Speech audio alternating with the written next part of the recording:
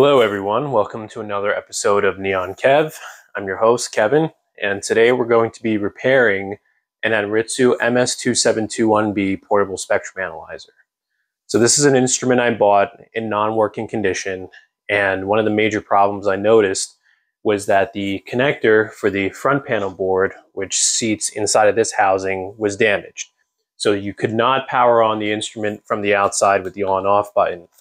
And I had sent the board out to Northridge Fix for them to repair the rip pads on the connector. And today we're going to try to put this analyzer back together again and see if it works. So stay tuned. Questions. And if you look here, whoa. All I can say is whoa. And what is this? We have how many missing pads? 1, 2, 3, 4, 5, 6, 7, 8, 9, 10, 11, 12, 13, 14, 15, 16, 17, 18, 19, 20, 21, 22, 23, 24. 24 missing pads. Are you kidding me? Now, I've got the board back here from Northridge Fix. Haven't taken it out of the box yet. So we're going to unbox the repaired board, uh, take a look at that connector that was repaired, and uh, probably reinforce that connector. As a lot of people noted, um, it seems like a pretty fragile connector being surface mount with no other reinforcing features. So I think the first thing we're going to do after we inspect it is to apply some neutral cure RTV to the board around that connector. And what that should do is reinforce it mechanically so that it doesn't rip off again potentially. Now, just to be clear, I'm not the one who broke the connector. All right, I received the analyzer in this condition. So I'm in the business of fixing these instruments. And uh, I'll put some pictures up. You can see that I've gone through a number of these uh, MS2721Bs specifically and done a lot of various repairs on them, electrical mostly. And, you know, this one I think is salvageable. A lot of them were typically destroyed beyond repair. So the MS2721B is used a lot in, um, was used a lot, I should say, in military applications and when the government got rid of these analyzers, uh, they had to sanitize any data that was potentially on them. And you can see the way that they sanitize them. They basically ripped most of the components off of the boards. So a lot of MS2721Bs, while the RF portion, so the analyzer and tracking generator might be fine, uh, me mechanically, the digital board, which is the board that we had repaired, would be destroyed beyond repair. You would have ICs ripped off. Um, the compact flash where the system uh, operating system lies is also just brutally ripped out. And this board, surprisingly, the ICs were on them. Um, the only thing that was was damaged was that front panel connector. So let's see if uh, if fixing this front panel connector uh, will bring the entire unit back to life because it seems to be the only problem so far.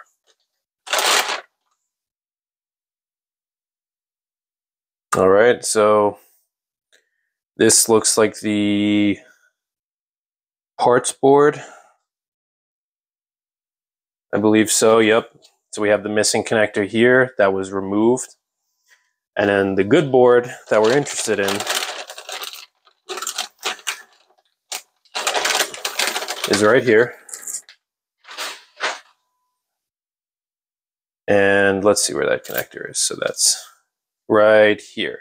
So let's zoom in on this area on the board and take a look at that connector. All right, so now I've got the board propped up here, and this is the connector that was fixed. I'll try to zoom in on this as best as I can. And you can see it's a pretty clean repair, and those traces are microscopic. So I know a few people ask exactly how small are the traces um, I'll go grab the donor board and I'll try to make a measurement on that and let you know. All right, so I tried to freehand a measurement with calipers as best as that's going to work. And um, I think it's those traces are no wider than 0.2 millimeters. So you can imagine how difficult it is to actually do the pad strip restoral on this board. And as Alex noted in his video, you have these large uh, aluminum electrolytic capacitors here in the way. So when you're trying to get an iron into this area and actually work and reflow those joints, it's especially difficult. So thank you, Alex, again. I know this was not an easy repair, and hopefully uh, your efforts were not in vain, and we've uh, brought this instrument back to life. So what I'm going to do now is uh, very carefully just clean this area a little bit with 100% um, isopropyl alcohol. And then I'm going to apply some RTV silicone to the ends of this connector. And hopefully that will mechanically reinforce it as well. So we don't have to worry about it being completely ripped off the board again. As you can see, there are no uh, solder pads or lands or anything around this connector. So the only thing that's holding it onto the board mechanically are the tiny pads themselves. And um, I don't know if anybody from Anritsu is watching. Uh, not not a great great uh, design as a lot of people have noted. And if you come over here and actually look at where that connector mates in the in the front panel of the instrument, it mates to these male pins, which then connect to the keypad on the unit on the front. So if that connector breaks, uh, it basically makes the instrument unusable. So we're going to go ahead and repair and reinforce the connector on the board. And um, hopefully when we reassemble this unit, it works. Okay, so I just finished cleaning up this connector very carefully, of course, to remove all the flux. And that's important for the prep that I did in order to apply some neutral cure RTV. So I'm going to apply RTV on the ends of this connector because it's so fragile and hopefully that will hold it down enough to safely install it and if this board ever needs to come out again uh, it won't take all the pads with it so uh, I'm going to apply the RTV, let it cure carefully. While that's going, I'll just clean the rest of the instrument because it's very dusty. And uh, once that's cured and we're ready to reassemble, we'll be back. Okay, so now we're approaching the moment of truth. Everything's clean. The front cover is prepared. Board is reassembled. So the backlight inverter here is back on. The LCD is back on. And you can see our connector here have the RTV tacked on the top and bottom. Everything's clean, everything's ready. So let's go ahead and take this board and flip it onto the main case here carefully. And that's the connector of interest that has to mate. Okay, so we've got the board reinstalled in the analyzer, all screwed in. So before we go ahead and assemble the back half of the unit, I can actually power it on in this state and see if the front panel is responsive or not. So I've got the unit plugged into the power adapter here. Now the fault light is on because there's no battery installed, but it is blinking normally as it would in standby, and this is good. This didn't happen uh, because that connector was obviously missing. So it looks like the front panel is connected to some extent. Now I haven't done a full functional test. This will be the first power up. I have Ethernet connected here because I'm probably going to have to reload the firmware uh, using the Anritsu Windows application. But first thing I'm going to do is just try powering on and see what happens. Okay, so the power button is responsive. That's good, that seems to be working. And what it's going to do now is try to boot up, but obviously the, uh, the spectrum analyzer portion of the instrument is not connected, so it's going to complain a little bit. Yep, couldn't find whatever, whatever, but looks like it's trying to boot.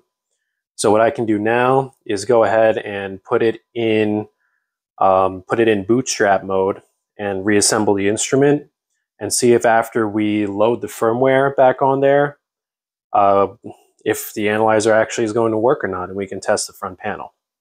All right, so I'm just going through the bootstrap menu to get the uh, firmware loaded up manually.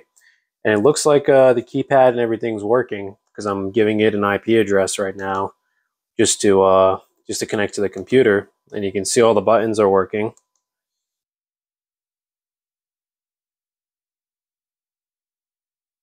So that's good. It looks like uh, this unit might be fixed.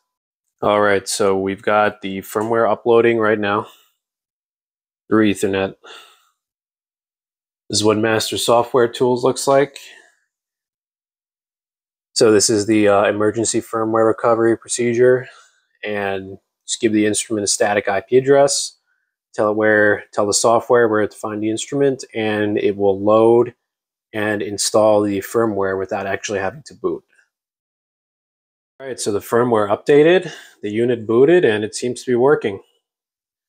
So we can, uh, in the system menu, run some tests. So we can do a self-test. Everything passes. I mean, obviously it wouldn't be able to check the front panel connector, but these are all the other system components that are non-RF related, I believe. And then if we go ahead, exit out of there and run the application self-test, that's going to test the spectrum analyzer. And then we can test the tracking generator as well.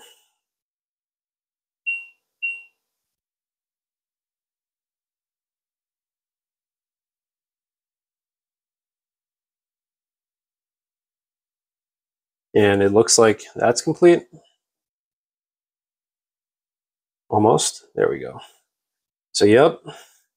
Unit seems to be working. We can do some quick RF tests with a uh, signal generator and analyzer. Make sure that the tracking gen is working. Make sure that the spec gen itself is actually working. And uh, once that's complete, I think this unit is fully repaired. All right, so we've got the Anritsu set up with an external signal generator and spectrum analyzer. And what we can do is test the function of this instrument. So we have the spectrum analyzer input to the Anritsu coming from an external signal source.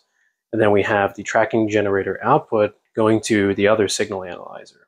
So first we can test the basic spectrum analyzer function of the Anritsu. So we can generate an external signal. Right now I have the PSG signal generator here set to 1 gig at 0 dBm. And you can see we're over here, we're reading approximately minus 1 dBm at 1 gig, 994 meg. So that's this little bit of loss is expected, of course, because no cable is perfect.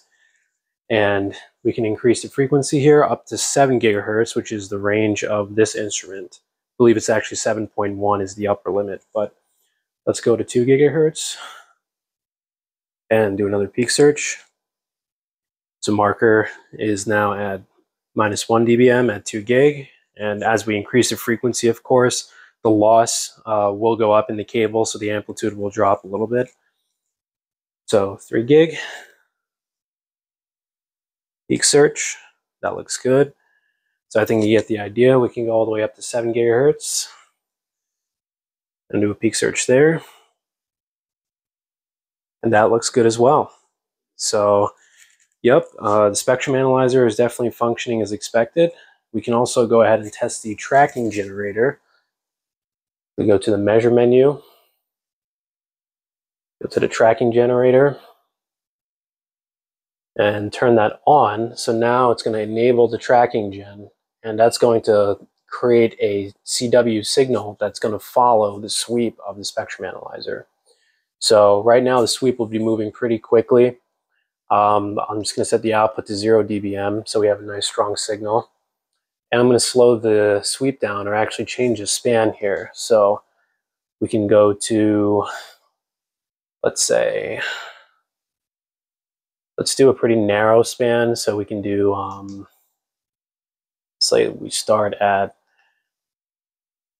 100 megahertz and stop at 200 megahertz. So let's do some low frequency to start with. And if we go over to our external spectrum analyzer here, start at 100 meg, stop at 200 meg. We can see the output from the Anritsu is there and it's tracking pretty nicely. And it seems to be pretty level around 0 dBm as well. So let's make that a little bit larger, or let's go to a higher frequency just so we make sure that at microwave frequencies things are functioning as expected. So start at 6 gigahertz and stop at 7 gigahertz. And let's change the span again here. Start at 6 gig, stop at 7 gig. And yep, you can see we have a nice signal here too, and it's sweeping as expected. So I would say that the Anritsu is fixed and all the buttons seem to work. I haven't pressed the button that hasn't worked, so I think that connector is also fully repaired. And this instrument has been saved. So thank you once again, Alex. Thank you all for watching and stop in next time.